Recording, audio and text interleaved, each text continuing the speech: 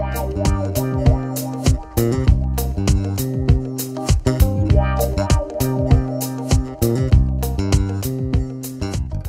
back with Bobby and JJ Radio. This is a true, near and dear to our heart show called Everything About Veterans. We just spoke with Bobby Erig. He was telling us about the Warm Hearts, Warm, and also the Cool Neighbor program that keeps uh, not only the aging population but veterans warm and cold when they need to in the different seasons. And he let us know how you can help either by time or by money. Money that Bobby and JJ Radio are matching today. Our next guest is Richard Delgado. He's the director of the Military Community Development at the Texas A&M uh, in San Antonio on the south side. How you doing, Rich? I'm good. How are y'all doing? Hey, so Bobby has a question, man. He works at Old Navy and he wears a lot of Salvation Army. Is he a vet? No, that doesn't count. No. sorry, bro.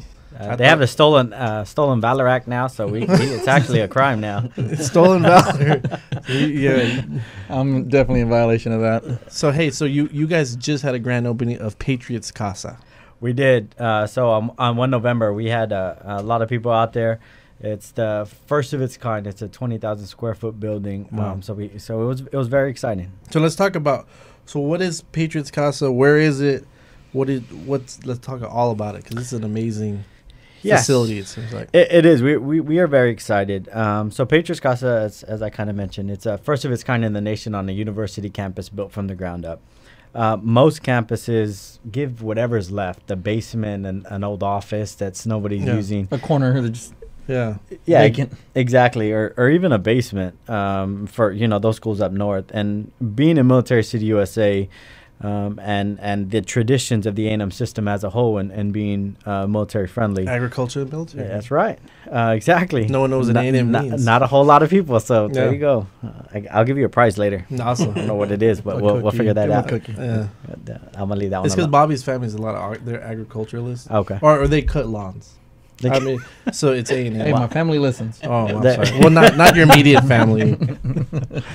um, so on that note, uh, um, so so again, uh, A&M San Antonio wanted to do more, so we stopped using the term military friendly because it became commercialized and overused. Sure. Um, and there's really no basis behind it.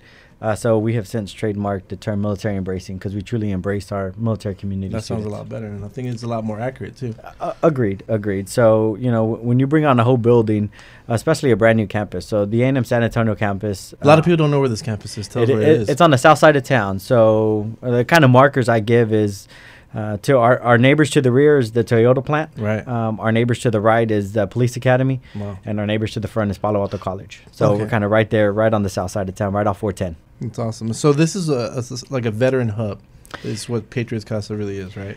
It is. We we are trying to encompass kind of a one-stop shop. Um, you know, everything that that you can get out in the community, we're bringing those organizations and services to campus um, because again, we are on the south side of town. So in order to drive to the north side of town, it does take a while.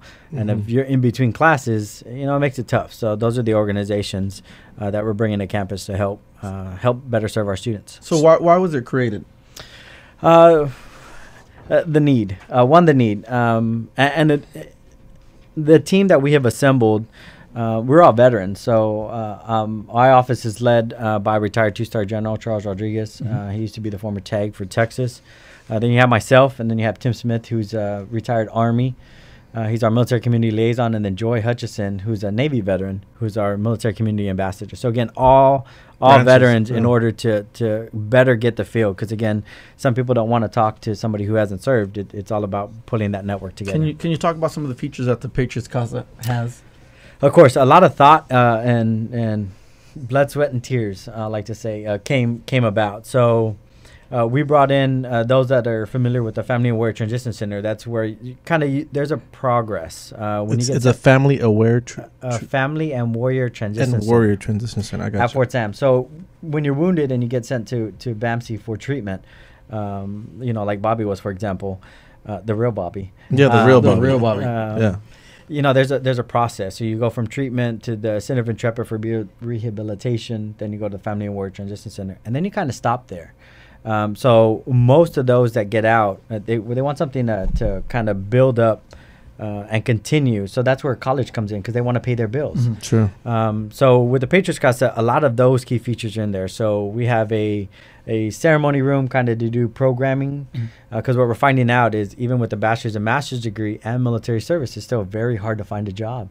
So we're going to do stackable credentials. Uh, so we'll bring in organizations to come help uh, do other things in between the classes. Uh, we're housing our ROTC, uh, our Army ROTC uh, in the building, and then we have a counseling suite. So uh, that's part of the building as well. And we also talked about there's there's a gallery there where there, where you guys are bringing in a bunch of art, some kind of uh, military style art. Yeah, so so throughout the building, uh, again, everything having in the building is, a military theme. Um, well, the gallery space is it's it's a little uh, different. So it's ten lock boxes.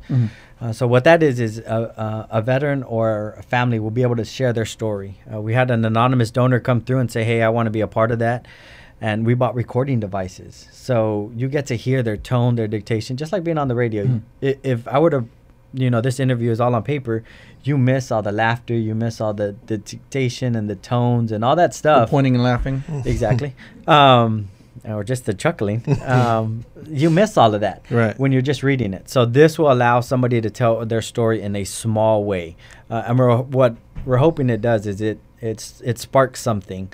So if I'm listening, for example, if I'm listening uh, to your story, say you served in the military and not wearing just Old Navy, um, and you tell me your story about something There's Rich. that that uh, you know that that impacted your life. So Mhm. just that small part.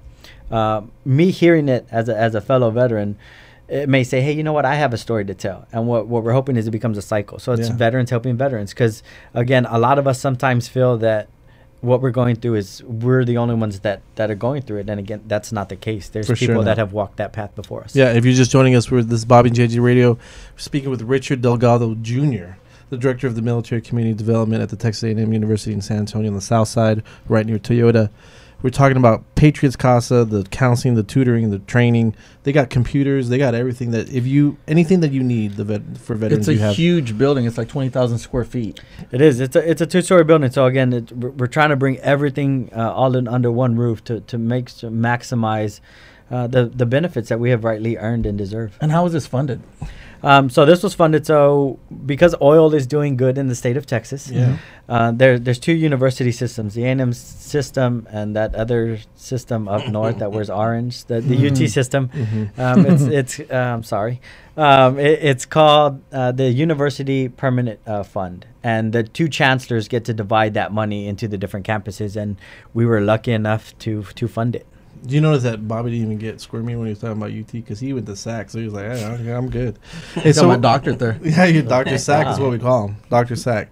Hey, so what are the different programs you guys offer? I know it's jobs pla- job placement for veterans and a lot of other things too. Yeah, so we do federal resume writing class because you know most uh, the military want to stay in the federal service in some aspect, um, and it's a unique way to do it. It's not like you just regular you turn your resume and you just write it. Yeah. Um, so we bring in programs like that. Um, we also bring in, um, uh, as I mentioned, the, the stackable credentials. So to, to better use Windows and Microsoft, all those soft skills that you can't get a degree in, but you absolutely need. you know. Absolutely, now you do. Yeah. Uh, Yeah. With all the technology out there. That's right. So And- why is this project so important to you? Uh, because I served. Um, so kind of my story is is kind of similar to, to, to Bobby's. It's I was sent here for treatment and um, and I made San Antonio home. So I needed to pay the bills. I, needed something to supplement my income and I can't feel my, my right hand or my right arm. So I had pins and needles and all kinds of stuff, you know, going through treatment, but I still had bills coming. Uh, so I started going to school like most veterans do because uh, with the post 9 11, they pay for school and then they pay you to go to school. Um, so I went to Palo Alto College. Uh, then I transitioned over to A&M San Antonio um, because of the small class sizes, and, and it was it was just growing. I became the I started the Student Veterans of America chapter because I felt more services needed to to be on campus. Then I became the student body president, the second student body president for campus, and then the president hired me as a student worker, and they say the rest is history. And I moved up the chain, and now I'm the director. of And if you don't mind sharing that story, I mean, I, I know it can be kind of tough, but what, what exactly happened? Uh, so so I was it, it's uh, You have to talk. uh, yeah apparently I do. Um, so I was wounded uh, in 04. Um, so I can't feel. I had a lot of nerve and tendon damage Um, lost a couple of guys out there. Um, so I can't feel um, my right um, my right hand or the back of my right arm. So uh, at one point they wanted to take my arm because they said it was easier uh, and, and less complicated uh, than going through the rehabilitation process. Just lazy doctors. Uh, well, yeah. Yeah. At times, I, I joke with my wife. Uh, I was like, "Hey, I could have been the next RoboCop." Yeah. Uh, she, she she doesn't like when I joke like that, but hey, I, I think it's funny. Um, so so that that's why it's very sincere to me because I know there's there's veterans out there that I felt the same way. That it was I was very closed in. And he was only a, you know nobody else is doing it. Where I know that's not the case, and that's why you, We're definitely glad that you made it back, you know, safely. One piece. Yeah. yeah. And you guys still uh, accepting donations, funding donations? Yeah, so all of the the building's paid for, but but now this is where we need the community support. So we, we need uh, people to help uh, bring in programs, speakers, and so forth. So you can uh, visit uh, www.patriotscasa.org, uh, and again, all the donations are tax deductible, and they will stay. Uh, all those that those dollars will be for veteran programming. Thanks, Rich, man. I really appreciate you coming on and you and Bobby. If anyone wants to go to bobbyandjjradio.com and, and pledge a donation, we will match it. Um, this is very near and dear to us. We work with a lot of ver- veterans on and in and outside of real estate, so we're very grateful and thanks for your service. Thank you. Thank you. Uh, we'll talk. We'll talk to y'all very soon. Uh, join us next week for our new show. Uh, join our Facebook page at bobbyandjjradio.com.